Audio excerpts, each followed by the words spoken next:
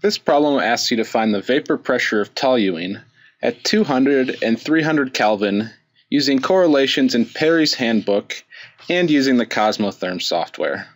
So the correlation from Perry's handbook says that the vapor pressure, Pvape, is equal to E to the C1 plus C2 over T plus C3 ln of T plus C4 times T to the C5, where the temperatures are given in Kelvin. So let's look at the correlations in Perry's handbook. So in Perry's, look at first at 200 Kelvin. So I've already created an Excel spreadsheet to do the calculation and the values of C1 through C5. So when I just enter a temperature of 200 Kelvin, it says that the vapor pressure is 1.1 Pascal. So let's just write that on our sheet here. So Pvape equals 1.1 pascals. And at 300K, Pvape is equal to 4.2 kPa. So now let's look at Cosmotherm.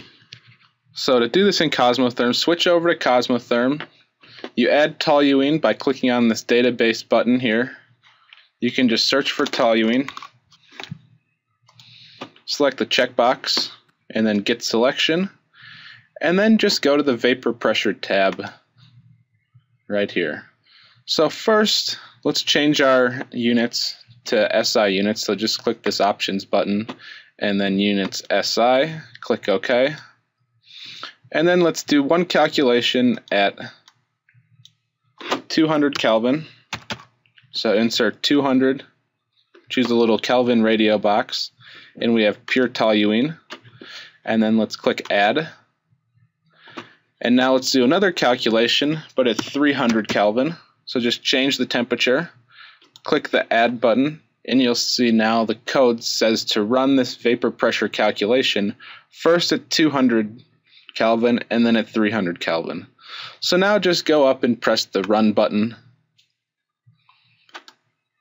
and you'll see that the output is in this page here with two tabs on the bottom. The first tab corresponding to the first run of the experiment at 200 Kelvin and the second at 300 Kelvin.